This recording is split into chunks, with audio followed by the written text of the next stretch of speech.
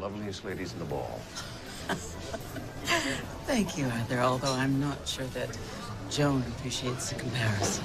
So your 30 seconds are up. She's all yours. I'm actually here to see you.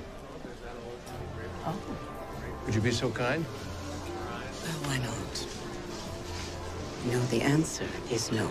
Oh, Claire. Uh, Senator works.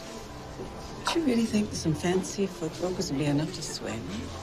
Oh, just give it till the bridge. You're already too late. No, I don't believe we've met. I'm Barb, Olivia's mom. You are. I'm Edward Taylor, and it's such a pleasure to meet you. Uh, this is Edward. Mm-hmm. You didn't tell me he was so handsome. Really? Because usually that's the first thing people say. Okay, Mom, remember? I'm upset with Edward and we're not talking to him. Well, like I told you before, he doesn't owe you anything. It was his job to take care of his clients. Whose side are you on? Yours, sweetheart, forever. Barb, thank you very much. Very smart woman. What's that? Speak up. I said I'm ready to pay your price, Crone. You would give up your wolf for this woman. Yes. Why? Reasons are not part of this bargain. If you give my strength to bow, you can take anything you need. Oh, well then. A deal is struck. The sacrifice is named and accepted. In exchange for my helping this bow, I will take from you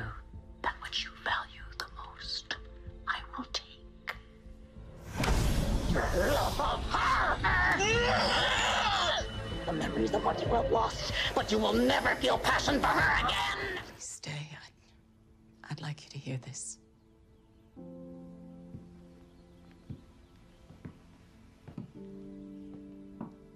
I was a guest in your home and I behaved dreadfully. And the worst part is, I offended someone very dear to me. I had no right call into question any of the choices that you have made. I don't know if you could ever forgive me. Of course, I can forgive you. Okay. oh, I've.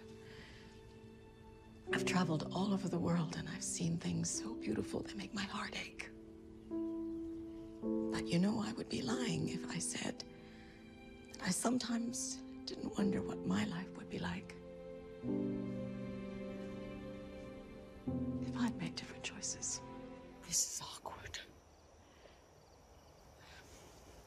You know, th- these aren't mine.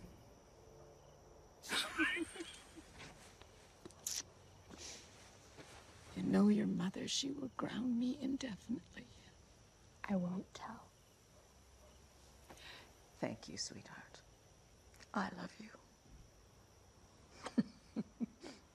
Go on, off to bed.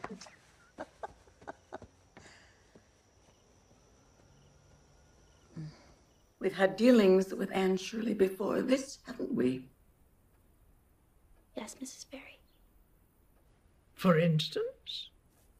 Serving alcohol at a children's tea party. Really? Inexcusable.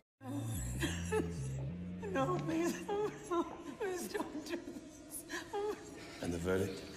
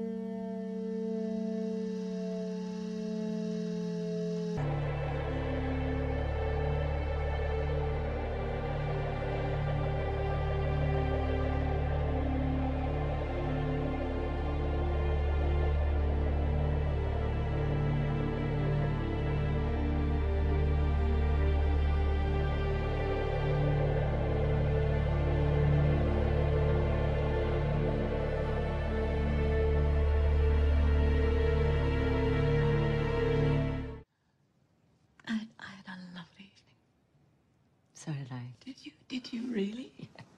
Yes. you know, I feel so alive with you.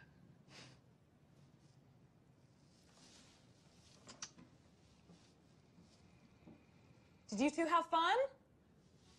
Yes, yes, we did. We went to True's house on the island and we dined and we played outside and we watched clouds. And we danced. It's almost midnight. Kind of late. Oh, I forgot about the time. Obviously. You missed dinner. We had plans. Oh, we did. Oh, I completely forgot. I'm so sorry, darling. Will you forgive me? Are you drunk? No. No. No, I am intoxicated with life. You know, between you and your sisters, I've got nine grandbabies now. I could spend the remainder of my good years wiping snotty noses, but I've already done that with my own kids. This is my time. I want to go places. I want to do things. Like what? I don't know, whatever I feel like doing. Like fawn over yoga instructors? Well, if I feel like it, yes. Why not? I want to learn to rollerblade. I want to go ziplining, and maybe I want to try my hand at nude volleyball. There's. What are you talking about?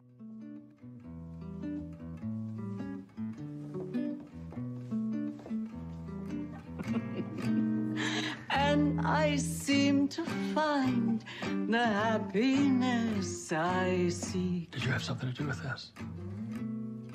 when